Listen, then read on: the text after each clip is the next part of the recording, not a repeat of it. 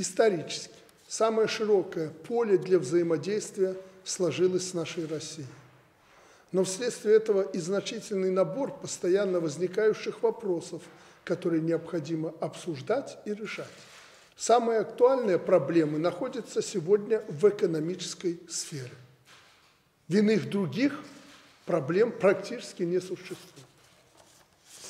Российское руководство выступило с инициативой пересмотра подходов к интеграции. Мы к этому готовы.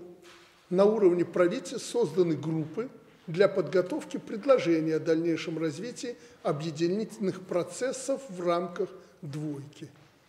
Надо еще раз посмотреть сегодня, каковы итоги этой работы, есть ли они вообще. Нам нужно еще раз проанализировать, где есть неиспользованные ресурсы, которые можно задействовать. Еще раз хочу подчеркнуть, что Беларусь сохраняет абсолютную приверженность идеи союзного строительства.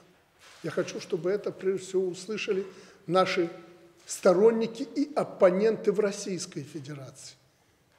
При этом основной принцип данного проекта – равные условия для наших сограждан и субъектов хозяйствования. На иных других принципах союз невозможен. И этот принцип равных условий должен неукоснительно соблюдаться.